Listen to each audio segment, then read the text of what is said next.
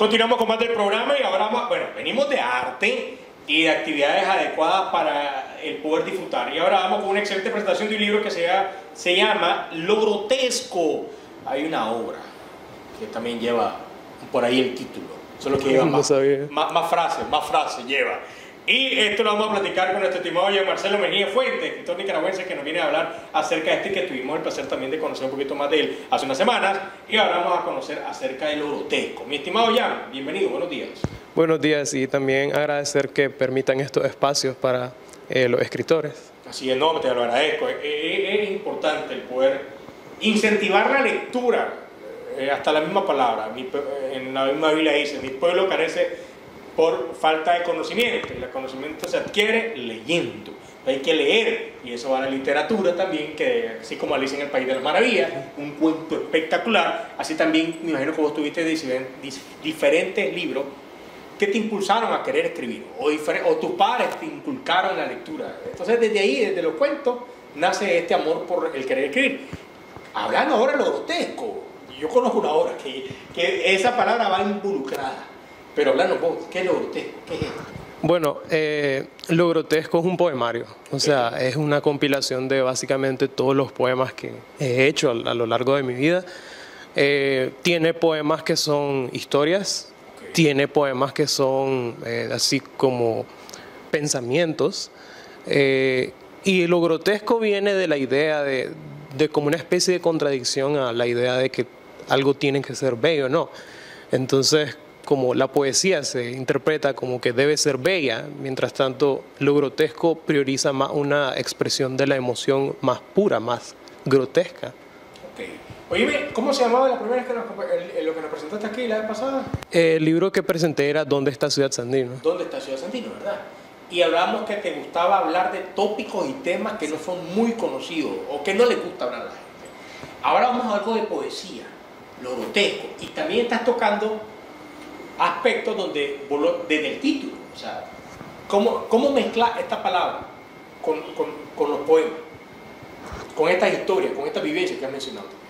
Bueno, yo diría que eh, primero la palabra lo grotesco nace de un verso que tengo específicamente dentro de los poemas que dice, lo grotesco nace en oposición a tu sol.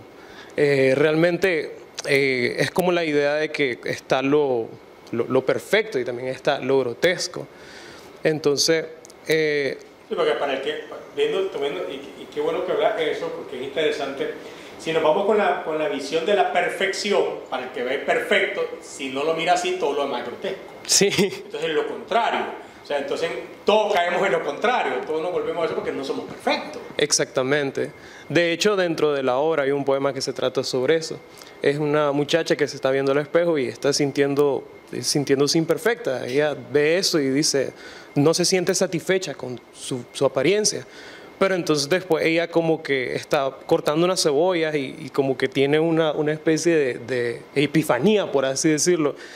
Y se da cuenta de que como nada en el mundo es perfecto, entonces eh, realmente no hay objetivo en, seguir como persiguiéndolo. El poema es bien surrealista, así como en mi estilo, eh, como que se encuentra un gusano gigante o algo así en representación de todo lo que se supone que debe ser perfecto. Eh, pero más o menos así, en esa línea van los poemas, pues, como tocando estos temas. No, y me está interesante y qué bueno que también lo mencionas porque vos sos joven y el aspecto de poder hablar de estos temas, el hecho de que también se vuelve una metáfora, que una chavala se ve, no una metáfora, se vuelve, se vuelve algo común. Yo ayer miraba que estamos en una época en la cual el espejo tiene que dictarte tu vida, tu, tu línea, tu forma de vestir, eh, te dicta también cómo te sentís físicamente desde un espejo. Vemos como muchas personas se toman fotos, lo postean desde un espejo para poder llegar a una perfección. Y también, entonces aquí trabajas, mira, mira qué interesante, porque desde tu, desde tu presentación, desde lo que escribís, desde lo que querés plasmar, hablas acerca de la autoestima, la confianza, la seguridad, hablas también del amor propio, desde un punto de vista muy diferente que muchos jóvenes pueden pasar. Y eso es parte de... ¿Cuántos poemas trae el grotesco? Eh, lo grotesco consiste en alrededor de 45 poemas. De hecho, hace poco le agregué algunos, así que eh, para aquellos que incluso ya lo habían chequeado, pues pueden volver a chequearlo y van a encontrar más. Ahí estábamos viendo una presentación, creo que musicalizada también, ¿verdad? Ah, sí, eh, en esa presentación eh, fue un, concierto de, de, romance que fue con, con, el, con el cantautor Becker. Eh, y pues yo tuve la oportunidad de que él me invitó a recitar y recité un poema precisamente sobre, sobre el amor que también va incluido en lo grotesco. Excelente. Oíme, y esto ya está entonces, ya lo pueden buscar en la plataforma. Sí, es correcto. Está en mi página de Instagram, arroba mejillán. Eh, lo pueden encontrar en el link de mi descripción. ahí están los dos libros, ¿Dónde está Ciudad Sandino? y Lo Grotesco.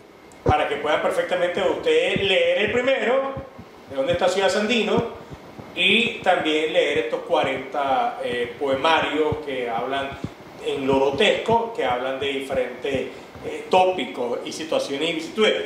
Hoy me la vez pasada te pregunté, y te vuelvo a preguntar, pues, porque la vez pasada te pregunté por el aspecto del libro que traías, pero eh, ahora, en estos 40 poemas nace vivencia tuya, nace de situaciones, vicitudes que vos has tenido. Así es. O, de situaciones y vicitudes que han tenido tus compañeros, amigos, conocidos, y lo querías plasmar. Como siempre, uno no puede evitar como reflejarse en su arte y reflejar todo lo que son sus vivencias. Ah, de hecho, aquí para ser un poco honesto, hay poemas que ni siquiera recuerdo por qué los escribí.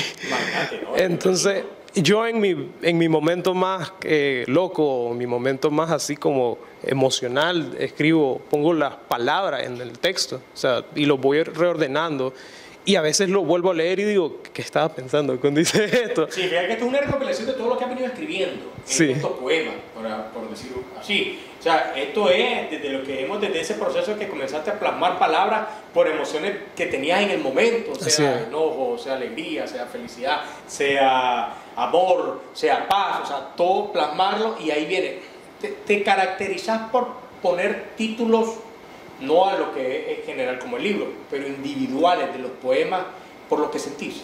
Sí, yo diría que la parte del título es bastante importante para, digamos, vender un, poema o algo así.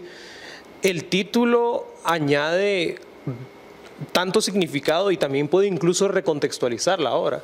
Por ejemplo, eh, Lo grotesco es el título de, uno de los poemas, como decía no solo es el título de, la obra completa, sino que es como uno de los poemas.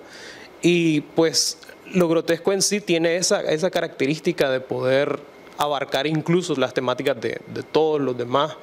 Entonces, el título del poema puede incluso cambiar cómo te sentís al respecto de algo y el poder tener también a futuro lo que vos estabas diciendo ahorita, el no saber ni por qué lo escribías en ese momento, pero te traslada y te hace recordar ciertas situaciones que pudiste vivir y también reflexionar de cómo ha sido ese proceso dentro de la literatura, que venís llevando y que venís trabajando, y eso es algo muy bueno, qué interesante. Entonces, repitamos por favor, mi estimado, en las redes sociales y de igual manera a todas aquellas personas interesadas en poder tenerte una presentación para que hagas, eh, para que declames, para que puedas hacer una narrativa, para que puedas también hablar de tu experiencia a todos aquellos jóvenes que quieren involucrarse dentro de la literatura, ¿cómo se pueden contactar con vos? Claro que sí. Eh, ustedes me pueden contactar en arroba mejillán, en mi cuenta de Instagram. Ahí pues tiendo a subir como eh, mis poemas y también mis libros, como dije en la descripción de mi página como tal.